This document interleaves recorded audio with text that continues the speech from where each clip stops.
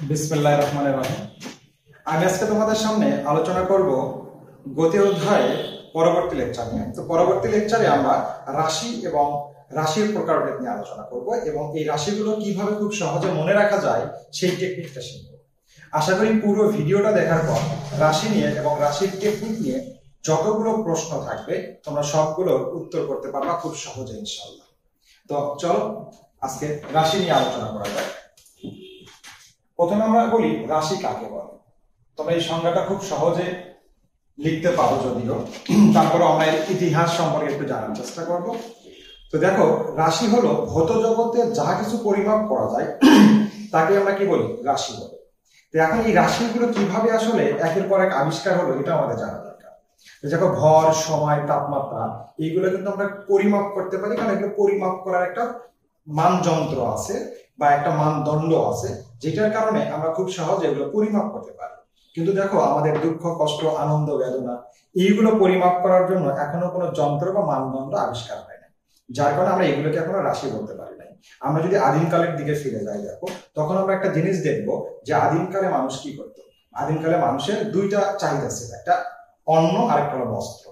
আর তারও আগে কি? বস্ত্রের ব্যবহারটা ছিল না। কিন্তু কালের বিবর্তনে পরবর্তীতে এসে কি হলো? আমাদের বস্ত্র আর অন্যের বিষয়টা আসলো। তারা এর বাহিরে যে বিষয়গুলো, সেগুলোকে তারা চেনেই না। তো যার কারণে দেখা যায়, যদি আমরা কোনো কিছু খাবার কিনতে যাই, তো তারা তখন কি করতো? এক জায়গাতে চাল উঠাই দিত, আরেক জায়গাতে ডাল বা অন্য কোনো সবজি উঠাই দিত, তার পরিমাপ করে ভাগ করে।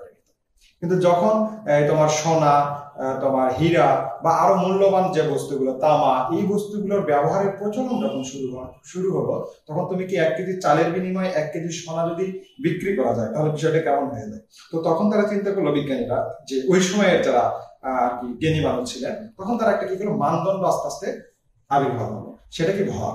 যেদিন থেকে ভর পরিমাপের একটা মানদণ্ড তৈরি হলো, যেগুলো পরিমাপ করার জন্য যে এইটুকু ওজনটাকে আমরা বলছি এক কেজি তো সেই হিসেবে তখন দাম নির্ধারণ হতো। যাই হোক আমরা ভরের বিষয়টাই আসি। তাহলে তখন থেকে আমাদের কি হলো? ভর আবিষ্কার হলো এবং ভরকে তখন থেকে আমাদের রাশি অন্তর্ভুক্ত করা হলো। ঠিক সেম ভাবে যখন আমরা এক সময় ছিল সময় কিন্তু আমরা পরিমাপ করতে পারতাম না।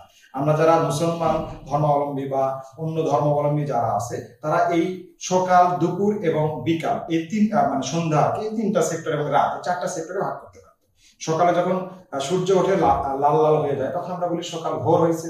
আমরা খুব সহজে এখনও বুঝতে পারি, ঘড়ি না দেখে যে সকাল হয়েছে কিনা। ঠিক সেম ভাবে যখন দুপুর বেলা হয়, মধ্য দুপুরে একেবারে সূর্য যখন আমাদের মাথার উপর আসে, তখন এটাকে আমরা মধ্য দুপুর বলতাম। তারপর যখন কি হয়, বিকাল হয়, তখন আস্তে আস্তে সূর্যটা অস্তের দিকে চলে যায়। তখন এটা বিকাল এবং তারপর যখন অস্ত যায়, সেটা সন্ধ্যা, তারপর এটা রাত। তো এইভাবে তখন কি করতো? হিসাবগুলো ক্যালকুলেশন করা হতো।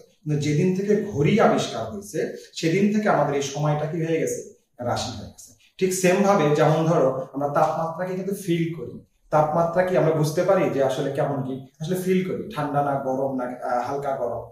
কিন্তু দেখো, কিন্তু এটা পরিমাপ করার জন্য একটা মানদণ্ড তৈরি হয়ে গেছে, সেটা কি থার্মোমিটার যার কারণে আমরা কিন্তু এই তাপমাত্রাকে এখন কি বলি? রাশি। ঠিক, এখন আমার দুঃখ, কষ্ট, আনন্দ, বেদনা ভালো লাগা, মন্দ লাগা, এই জিনিসগুলোর, বিষয়গুলোর যখন কি আসবে, একটা মানদণ্ড বিজ্ঞানীর আবিষ্কার করে ফেলবে, সেদিন থেকে এগুলো রাশির আওতায় চলে আসবে। তো এখন পর্যন্ত যেহেতু আবিষ্কার হয় সেহেতু এগুলো এখন কি? রাশি। তো এইবার আসে আমাদের রাশি আবার কি?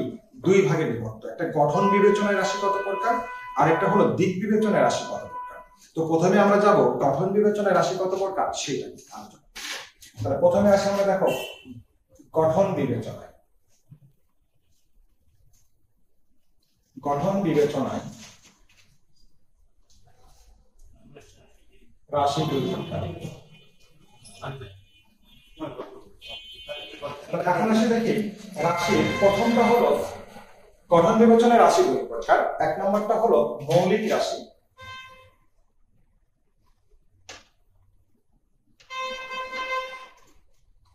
দুই নম্বরটা হলো যৌগিক রাশি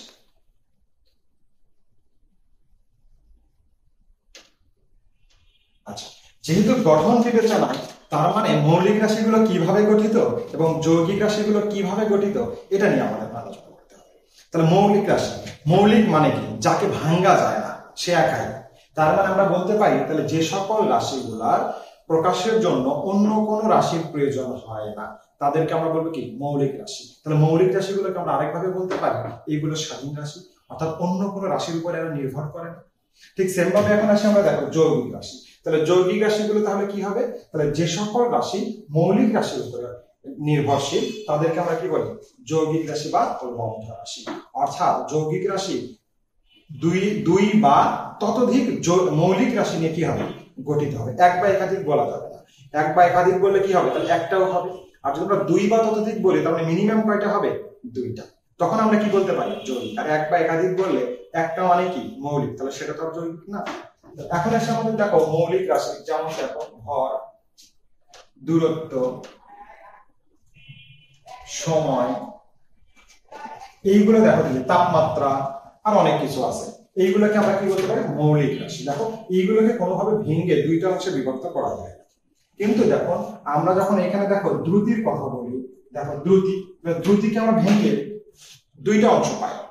সেটা কি দেখো তো, একটা দূরত্ব ভাগ হলো সমান। দূরত্ব ভাগ সমান। তাহলে এখন দেখো, দূরত্ব মৌলিক, সময় মৌলিক। তাহলে এখানে কয়টা মৌলিক রাশি নিয়ে গঠিত দূরত্ব বলো তো? দুইটা।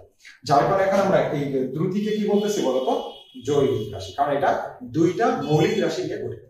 সেম ভাবে যদি আমরা বলের ক্ষেত্রে চলে যাই, বেগের ক্ষেত্রে যদি চলে যাই, দেখো, তাহলে বেগ ইকুয়াল টু আমরা কি লিখতে পারি বলতো স্মরণ ভাগ সময় তাহলে দেখো এখানে স্মরণটা কি বলতো মৌলিক রাশি। তাহলে স্মরণটা মৌলিক, সময়টা মৌলিক, তাহলে দুইটা মৌলিক রাশি সমন্বয়ে বেগ গঠিত। সেম ভাবে যদি এখন আমরা দেখো ত্বরণের কথায় চলে যাই, দেখো তরণ ত্বরণ তাহলে কি বেগ ভাগ সময় বেগ ভাগ সময় তাহলে বেগ আবার কি দেখো তো? স্মরণ ভাগ সময় তাহলে স্মরণ, তাহলে নিচে একটা সময় ছিল আর একটা সময়। তাহলে সময় ইন্টু হলো কি? সময়। তাহলে দেখো তো এখানে আমার মৌলিক রাশি কয়টা আসলো? তিনটা।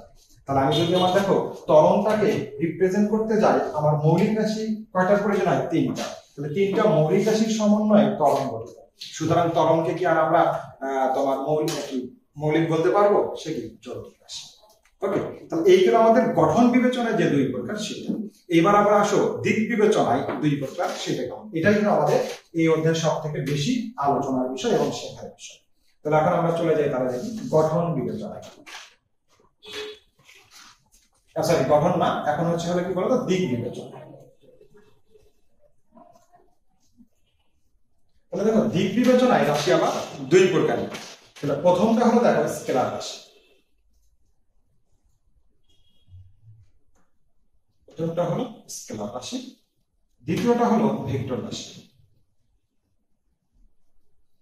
তাহলে প্রথমে আমরা চলে যাব স্কেলার রাশি আর ভেক্টর রাশির সংজ্ঞা। কাকে বলে? যে সংজ্ঞাটা তোমরা বারবার একটা জিনিস উজ্জ করে দাও, যেটার কারণে যে কোনো টিচার চাইলে তোমাকে জিরো দিয়ে দিতে পারে। তো সেইটা আসলে কেন জিরো দিবে, তার প্রমাণটা আমি আমার লেকচারেই তোমাদেরকে বিশ্লেষণ করব। তো প্রথমে আসি আমরা দেখো স্কেলার রাশি। স্কেলার রাশির ক্ষেত্রে তোমরা সংজ্ঞা দিয়ে থাকো এইভাবে, যে সকল রাশি প্রকাশ করার জন্য মান এবং তোমরা যেভাবে বলো, যে সকল রাশি প্রকাশ যে সকল রাশি শুধুমাত্র মান আছে, তোমরা যেটা বলো, যে সকল রাশি, যে সকল রাশির মান আছে, কিন্তু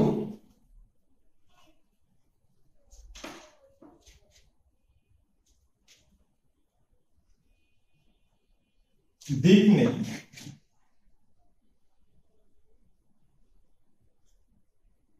তাদের স্কেলার রাশি। তাহলে যে সকল রাশির মান আছে, কিন্তু কি নাই, দিক নেই মাঝখানে কিন্তু গ্যাপ রাখছে। কারণ আছে গ্যাপ একটু পরে বুঝতে আর ভেক্টর রাশি, তাহলে আমরা যে সংজ্ঞাটা যেভাবে লিখি, যে সকল রাশির মান এবং দিক উভয় বিদ্যমান বা উভয়ের প্রয়োজন। তাহলে সেই সকল রাশিকে আমরা কি বলি? ভেক্টর রাশি।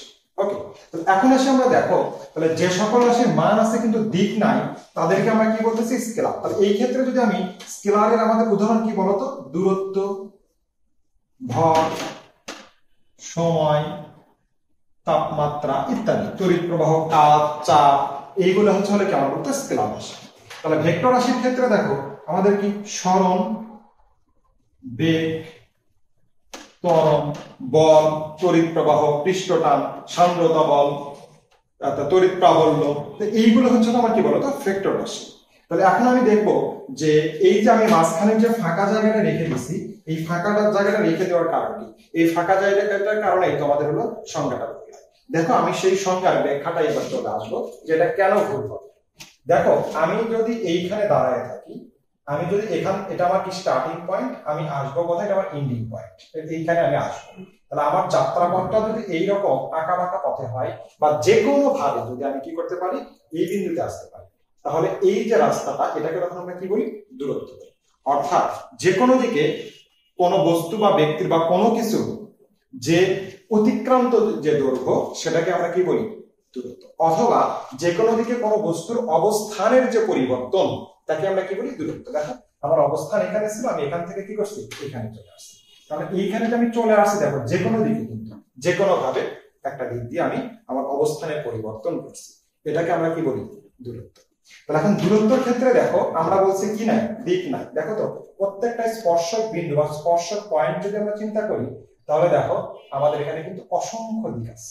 তাহলে এখানে আমি কোটিখানিক দিক পাবো। যদি আমরা কি করি? ওই সেইভাবে যদি আমরা বিশ্লেষণ করতে যাই। তাহলে আমরা যে বললাম, এখানে দিক নাই। আসলে দিক আছে। সেই দিকটা কেমন না বলতো? সুনির্দিষ্ট নয়। দিক, দিকটা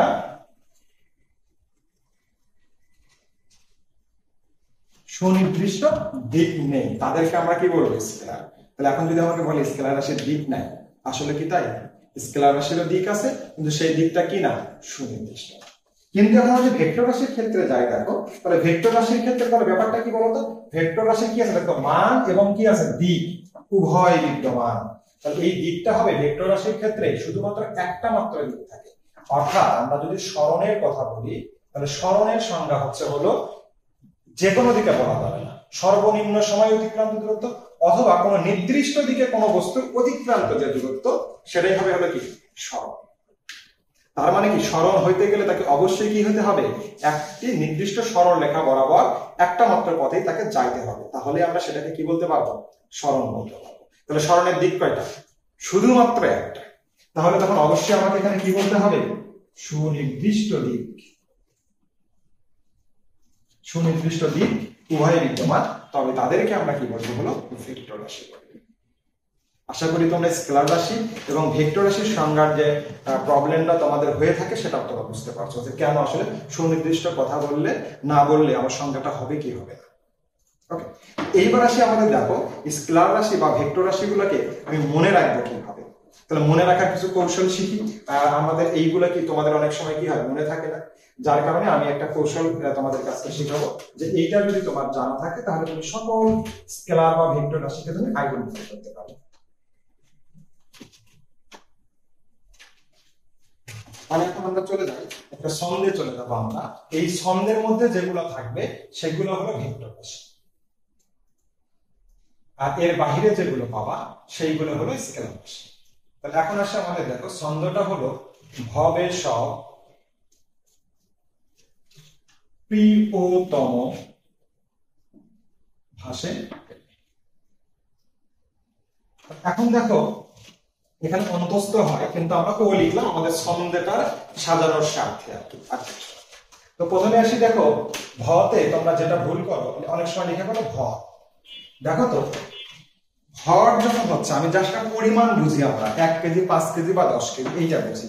দেখো তো, আমি যদি এই কলমগুলোকে একশো গ্রাম ধরি, তাহলে দিক চেঞ্জ করে আমি এখানে নিয়ে গেলাম। তাহলে ভর কি একশো গ্রাম থেকে দশ গ্রাম হবে বা দুশো গ্রাম হয়ে যাবে? তা কিন্তু না। তাহলে ভর এমন একটা জিনিস যার স্থানের পরিবর্তন হলো, তার পরিবর্তন হয় না। কারণ জাস্ট একটা পরিমাণ, এটার কোনো সুনির্দিষ্ট দিকের প্রয়োজন নাই। তার মানে অবশ্যই তাহলে এই ভতে আমরা ভর বুঝতেছি না। তাহলে অন্য কিছু বুঝতেছি? তখন আসলে এটা আমাদের ভরের সাথে যখন আমার বেগ যুক্ত হয়ে যাচ্ছে, বেগটা কি রাশি বলতো ভেক্টর রাশি। যার কারণে আমাদের ভর বেগটাও কি হয়ে গেল? ভেক্টর। তাহলে বয় ক্ষেত্রে বেগ দুন্তুর সাথে আমরা অলরেডি বুঝেই গেছি কি? স্মরণ বতে হচ্ছে হলো পৃথিবীতে যত প্রকারের বল আছে, সবগুলো বলই হবে হচ্ছে হলো ওকে এখন সব ফলাফল। তাহলে প্রতে হচ্ছে হলো প্রাবল্য। তাহলে আমরা লিখব পৃথিবীতে যত প্রকারের প্রাবল্য আছে, সবগুলোই প্রাবল্যই হচ্ছে ভেক্টর রাশি। ওতে হলো ওজন। ওজন এক প্রকারের বলই কিন্তু। তাহলে ততে হলো কি ত্বরণ? ত্বরণ কি রাশি বলতো? ভেক্টর রাশি। মতে হলো মন্দন। তাহলে মন্দন কি রাশি? ভেক্টর। এখন ভতে হলো ভ্রামক। তো সবগুলো ভ্রামকই হলো কি? ভেক্টর। কিন্তু শুধুমাত্র জড়তার যে ভ্রামক আছে, তাহলে জড়তার ভ্রামক, এই জড়তার ভ্রামকটা তোমার হলো স্কেলার রাশি। শুধু এটা মনে রাখবা, সবগুলো ভ্রামক ভেক্টর, কিন্তু শুধু জড়তার ভ্রামকটা হলো স্কেলার। ওকে ধুন্দুর সাথে দেখো সান্দ্রতা বল, এগুলো তোমাদের নাই। সান্দ্রতা বল অলরেডি বলে ফেলছি সকল বল, পয়রফলা প্রত হলো পৃষ্ঠটান এটাও তোমাদের নাই। মতে হলো মহাকর্ষ তো যাই হোক, তাহলে আমরা দেখো মোটামুটি এই ভিতরে যেগুলো আমাদের বইয়ে আছে পাবো, এগুলোই হলো আমাদের কি বলতো? ভেক্টর রাশি এর বাহিরে দেখো, এখানে আমার কি দেয়? দেখো, ভর নাই, সময় নাই, তাপমাত্রা নাই, দূরত্ব নাই, দ্রুতি নাই, তারপর দেখো, তড়িৎ প্রবাহ নাই। তড়িৎ প্রবাহ যেহেতু উচ্চ বিভব থেকে কারেন্ট নিম্ন বিভবের দিকে যায়। তারপরে এখানে অভিমুখ থাকা সত্ত্বেও তড়িৎ প্রবাহ কি না? ভেক্টর রাশি না। দেখো ছন্দের মধ্যে নাই। তারপর দেখো, কাজ, তারপরে তোমার চাপ, এইগুলো কি না? ভেক্টর রাশি না। দেখতে ভেক্টর রাশির মতো মনে হলো এগুলা ভেক্টর না, এগুলা কি?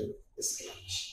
আশা করি এই একটা ছন্দ যদি মনে থাকে, তাহলে তুমি খুব সহজে ভেক্টর এবং স্কেলারকে আইডেন্টিফাই করতে পারবে। তো ওকে তো আজকের মতো এ পর্যন্তই। ভালো থেকো, সুস্থ থেকো, আল্লাহ হাফিজ।